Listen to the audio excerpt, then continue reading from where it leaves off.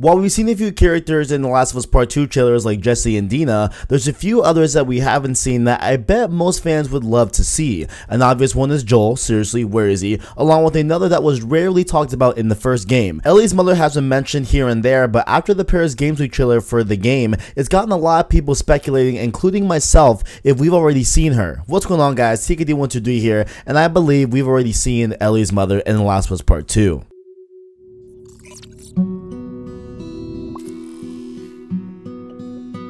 First, let's go over what we know about Ellie's mother already, courtesy of the Last of Us wiki. Her name was Anna, and before the outbreak, Anna worked as a nurse and at some point became good friends with Marlene. Although they fought a lot due to Anna's stubbornness, they were close. After the outbreak, she became pregnant, and sometime during late 2018 or early 2019, she gave birth to her daughter, who she named Ellie. She died within a day of giving birth to her, but she had time to write Ellie a letter. But Anna died. Marlene promised to look after Ellie in her absence. She would keep her promise despite her position as a leader of the Fireflies. After that, Marlene took care of Ellie for a while, but eventually put her in a military boarding school. And really, that's the extent of what we know of her. We never saw her, never played as her, no pictures, no nothing. However, with all that being said, I think there's some parallels we can draw that make the woman in the Paris Games Week trailer for The Last of Us Part 2 Ellie's mother. Now, if we look at the four squares that they put as a placeholder on Twitter for the name of the woman in the trailer when they announced that Laura Bailey was playing her, and considering that according to The Last of Us, where we figure out that Ellie's mother's name is indeed Anna, those four squares have to spell out Anna, thus making her Ellie's mom in the trailer. Alright guys, hope you enjoyed the video. If you all enjoyed, make sure to leave a like as well if you enjoyed it. I'm just kidding, I'm just kidding. I'm, I'm, I'm totally just kidding. There's a lot more to this. While indeed those four squares are a clear dead giveaway that of course this is spelling Anna, let's go over some other things that clearly lay this to rest. So it's been officially stated that at the E3 2018 Coliseum that The Last of Us Part 2 will have two different timelines that will be playable. For more info, check out this video we uploaded a few weeks back where I outline and go over that said E3 2018 Coliseum Naughty Dog panel. And so with that being said, they've shown us two different type of trailers. One style shown at the reveal trailer featuring Ellie and the other is the Paris Games Week trailer. One can assume that these are the two different timelines. The trailers with Ellie is one timeline and the one featuring this unnamed woman for now will be the other. And honestly, who knows? I could be completely wrong about this, but this is just what I'm thinking. This is just my speculation, but for video's sake, let's just call them the two timelines. With that being said, I feel like I should make the case as to who it is first and then present the evidence. The lady being Hun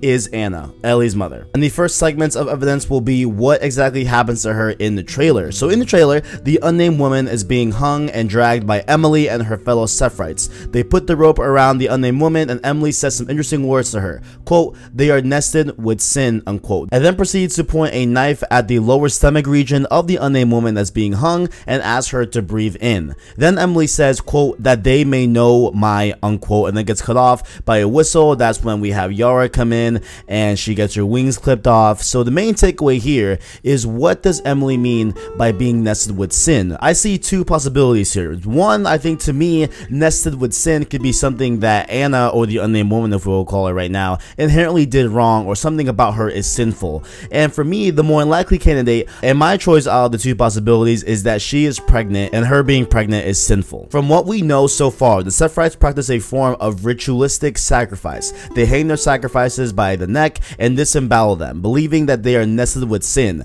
This may be a ritual they do for those that disobey, as we know that the unnamed woman was a part of the Sephiroths and maybe she went against the rules and thus this is her punishment for doing so. And maybe the punishment is that she had sex and became pregnant. That would also explain why she holds a knife to her lower stomach, indicating that this unnamed woman is indeed pregnant. Of course, she isn't the only person that has received this type of death, as we see other people in that same trailer being hung and having their guts open, as well as seeing it happen live at the E3 gameplay trailer with Ellie there as well. It's a common punishment for the Sephiroths, and I think it doesn't only mean a punishment for women that become pregnant, but any member of the Sephiroths that partake in sin. And so could we be seeing this unnamed woman being punished for being pregnant with Ellie?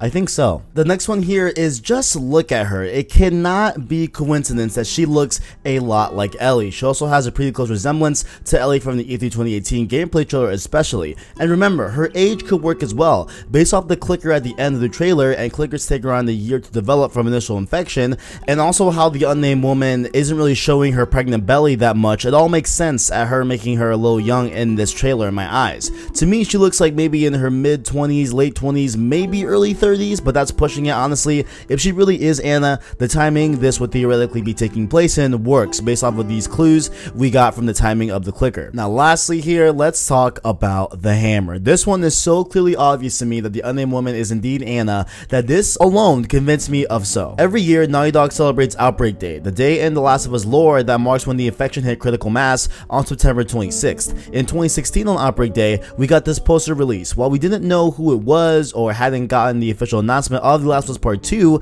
a few months later at the PSX was when we finally got the announcement of the game, it became clear who exactly was holding this blade. It's Ellie, based off the tattoos on her arm, and so I did a little more digging, and that blade she's holding is indeed Ellie's that we see her use countless times in The Last of Us, so it's safe to say that the poster released in 2016 for Outbreak Day based off the tattoos and the blade, it's clearly Ellie. But then Outbreak 2017 rolls around, Outbreak Day in 2017, we received another poster in a similar vein, with a more red and dark colored hues depicts another girl holding a hammer, and in the Paris Games Week trailer, who holds a hammer in a nearly identical pose as the poster? The unnamed woman. I think this is the icing on the cake. The unnamed woman has to be Anna, Ellie's mother. It is the second timeline exploring the relationship between Anna and probably Marlene and will likely end in the following hours of Anna's life after giving birth to Ellie. You heard it here folks, but let me know what you think down in the comments below. Is this Ellie's mother Anna? Are you convinced? Let me know all your thoughts down in the comments below. And make sure also while you are down there to check out our description where you can find our Instagram and Twitter to follow us on there. And make sure to also leave a like on the video if you enjoyed it as well as subscribe to PlayStation Source